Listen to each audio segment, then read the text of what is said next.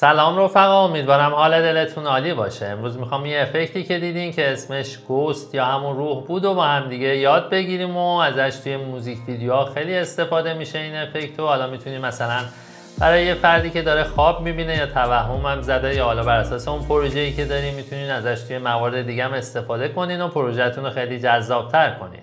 پس اگه می‌خوای با این افکت جذاب دیدنی آشنا بشی و یادش بگیری حتما تا انتهای این ویدیو همراه من باش.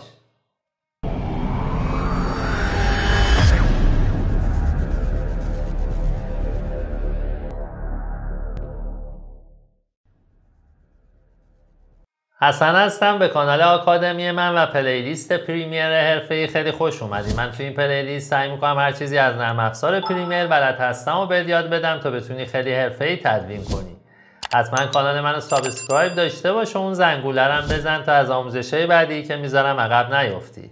اگه اون like هم برام بزنی خیلی بهم انرژی میدی تا ویدیوهای خیلی با کیفیت تری برات تولید کنم. خیلی سریع بریم روی سیستم و effect دیدنی و با هم دیگه یاد بگیریم. خب اولین کاری که باید بکنیم اینه که ویدیومون رو با یه drag ساده به قسمت timeline مون اضافه کنیم و باید یه کپی از این لایه‌مون بگیریم. با نگه داشتن کلید Alt از روی کیبورد و یه drag ساده به سمت بالا من از این لایه‌مون یه کپی ایجاد می‌کنم. و حالا اگه موزیکی هم انتخاب کرده بودیم می‌تونیم توی قسمت موزیک ها اضافه کنیم. من با کلید پایین میرم انتهای ویدیومون رو با ابزار Razor Tools مون قسمت اضافی موزیکمون رو delete می‌کنم میرم ابتدای ویدیومون و الان کافیه روی این line دوممون یه right click انجام بدیم و گزینه speed duration رو بزنیم. اینجا اگه speed مون روی 100 درصد باشه می‌بینیم که time ویدیومون حدودا 5 ثانیه هست. اگه من اینو کمتر کنم یه حالت slow motion ی می‌گیره کارمون رو. همونجور که می‌بینیم ویدیومون الان حدودا 25 ثانیه شد. و اگه این عددم بالاتر از 100 قرار بدیم ویدیومون تند میشه و می‌بینیم که زمانش الان حدودا 3 ثانیه شد. و حالا بر اساس پروژهتون می‌تونید اینو کم و زیاد قرار بدیم من اینجا روی 90 قرار میدم و روی OK کلیک می‌کنم و همونجور که می‌بینین الان طول ویدیومون هم زیادتر شد. این یعنی اینکه یه حالت slow motion ی کارمون گرفت و حالا اگه می‌خواین effect تون بیشتر توی چشم بیاد می‌تونین این slow motion رو یه مقداری زمانش رو بیشتر کنین و عددتون رو یه مقداری کمتر بدین. یه بار ویدیومون رو ببینیم به چه صورتی هست.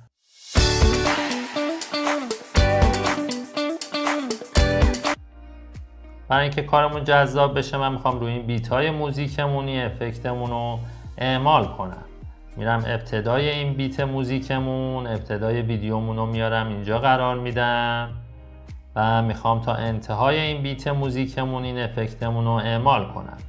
یه ابزار ریزر تولزمون رو بر میدارم و اینجا یه برشی می‌زنم.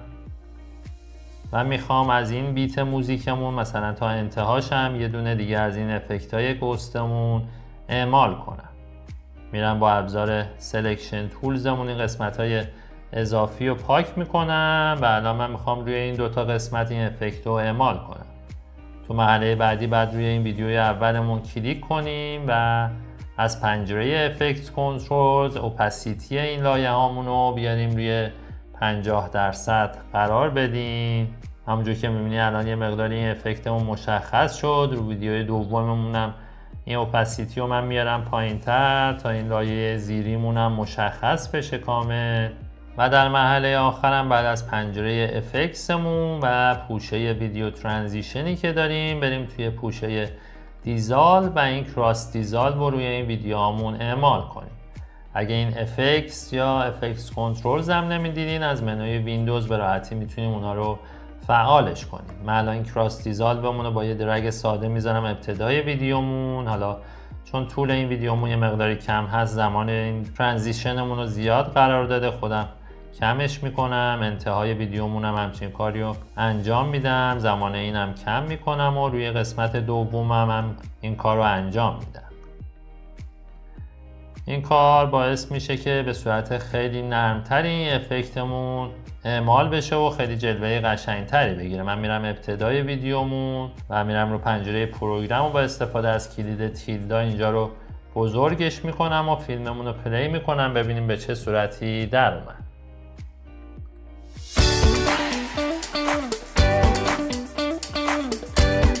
همونطور که دیدین الان روی beat های موزیکمونی افکت به قشنگی اعمال شد. من یه بار دیگه play می‌کنم ویدیومونو.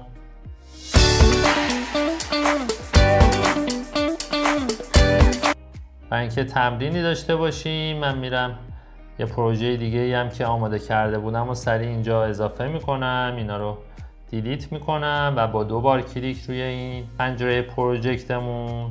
ویدیوی بعدی هم که انتخاب کرده بودم و open می‌کنم تا سریع این افکت هم اعمال کنیم. این ویدیومون رو به قسمت timeline مون اضافه می‌کنم. یک کپی ازش می‌گیرم و می‌تونم موزیکمونم اضافه کنم. قسمت اضافی موزیکمون رو می‌تونیم برش بزنیم حالا برای اینکه کارمون بهتر بشه و اینجا همونطوری که می‌بینید دوتا حالت بیت موزیک داریم. صرفا روی بیت موزیک ها نباید این کار رو انجام بدین. حالا بر اساس اون پروژه‌ای که داریم می‌تونید این کار رو انجام بدین. اینجا برای اینکه کارمون جذاب تر شه من دارم این مثال رو براتون می‌زنم. بریم ویدیومون رو ببینیم به چه صورتی هست ابتدا.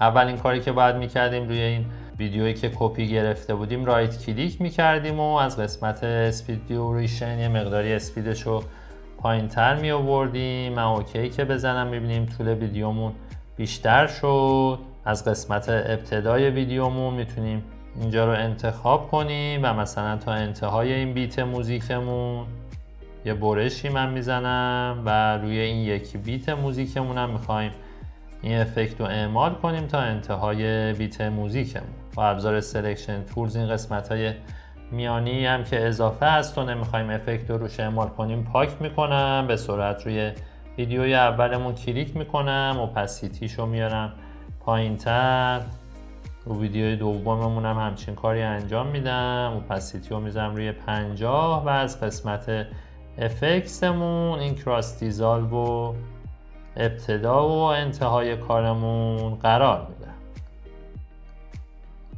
روی ویدیوی دوممون هم همچین کاری رو انجام میدم تا این افکتمون خیلی نرمتر و قشنگتر اعمال بشه.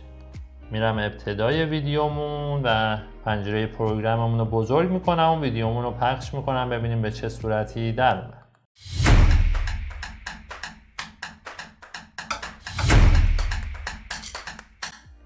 و همونطور که دیدیم به قشنگی و به زیبایی و به سرعت تونستیم این افکت رو روی این ویدیومون هم اعمال کنیم و خیلی سریع بریم روی اون ویدیوی اولی هم که دیدین این افکت رو اعمال کنیم تا یه توضیحی اونجا براتون بدم. من این ویدیومون رو دیلیت می‌کنم و مجدد با دو بار کلیک روی پنجره پروژکتمون. اون ویدیوهایی که انتخاب کرده بودیم من به قسمت پروژکتمون اضافه می‌کنم. این ویدیومون رو با یه drag ساده میارم اینجا قرار میدم. یه بار این ویدیومون رو بریم ببینیم به چه صورتی هست. همونطور که می‌بینیم ویدیومون خودش به صورت تقریبا slow motion ی هست و بعد توی اون line دومی که خودمون می‌خوایم slow motion کنیم یه مقداری اون درصد رو کمتر بیاریم پایین تا اختلافش خیلی زیادتر نباشه. برای اینکه بتونیم بهتر درک کنین من الان یه کپی از این لایه‌مون می‌گیرم. میرم تو قسمت اسپید دیوریشن و اگر اینجا رو الان روی 90 درصد قرار بدم و کارمون رو اوکی کنیم بریم مثلا یه قسمتی از ویدیومون رو انتخاب کنیم. مثلا از این قسمت من ابتدای ویدیومون رو قرار میدم تا ببینیم مثلا تا کجا تا اینجا رو می‌خوام یه افکت روش اعمال بشه. پس انتهای ویدیو من میارم اینجا قرار میدم. اوپسیتیشو اگه من روی 50 درصد قرار بدم. و از قسمت effects این cross dissolve رو روی کارمون بذارم. ببینیم کارمون به چه صورتی در میاد. من میرم ابتدای ویدیومون و فیلممون رو play می‌کنم.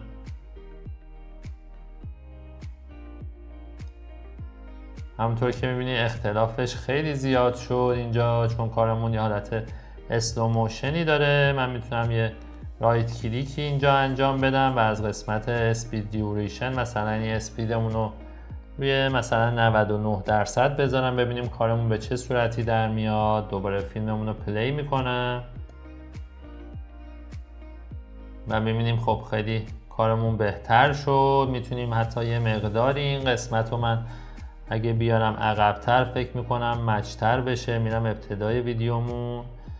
اینجا رو یه مقداری با نگه داشتن کلید آلت و دکمه سمت چپ عقبتر می‌تونم بیارم تا کارمون قشنگتر بشه. مثلا اینجا تقریبا دستمون روی همدیگه قرار گرفت. حالا می‌تونم یه فاصله ایجاد کنم تا اون حالت افکتمون قشنگتر اعمال شه و اگه برم ویدیومون رو مجدد پخش کنم می‌بینیم که کارمون با یه کیفیت و با یه فاصله خیلی خوبی ایجاد شد. خودتون حالا یکم اگه بازی کنین و این افکت رو روی ویدیوتون اعمال کنین بر اساس اون پروژه‌ای که دارین می‌تونین بهترین شکل این افکت رو روی پروژهتون اعمال کنین.